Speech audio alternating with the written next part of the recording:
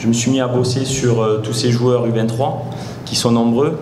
Et lors de ma première liste, qui a fait, euh, qui a étonné beaucoup de gens, je pense, j'ai sorti 67 noms.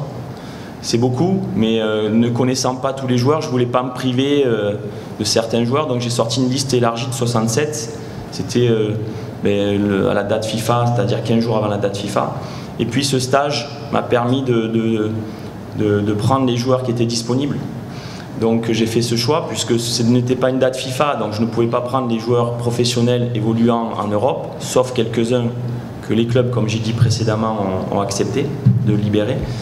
Euh, donc du coup, c'est pas évident de, comment dirais-je, lorsqu'il y a une échéance comme ça, coup près, soit vous prenez les meilleurs, mais vous n'êtes pas sûr qu'avec les meilleurs joueurs, on puisse, euh, on puisse faire la meilleure équipe je dis bien les meilleurs joueurs sur le papier, hein, dans les clubs où ils jouent.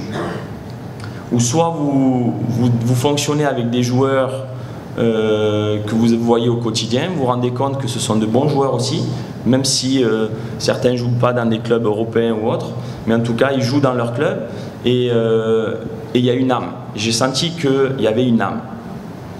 Maintenant à moi de mettre en place cette équipe, c'est-à-dire garder l'âme et renforcé par des joueurs comme Ashraf, comme euh, Youssef Eneseri, Noussir Mezraoui, euh, Hamza Mendil, euh, Boussefian, enfin, voilà, des joueurs qui jouent en Europe. Et il faut que la mayonnaise prenne, il faut que ce soit une équipe compétitive. Voilà. Mais effectivement, on suit. Si vous regardez, j'ai pris 27 joueurs pour ce stage et j'ai droit à 18 sur la feuille de match.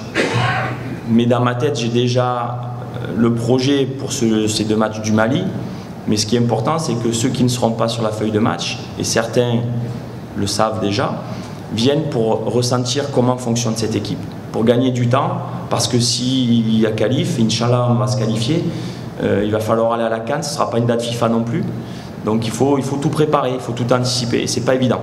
Je vous dis sincèrement, c'est pas évident euh, d'avoir euh, tout en tête, mais, mais c'est clair en tout cas. Donc voilà, on travaille et puis on continue. Les joueurs qui ne sont pas ici, on va essayer d'être chaque fois compétitifs.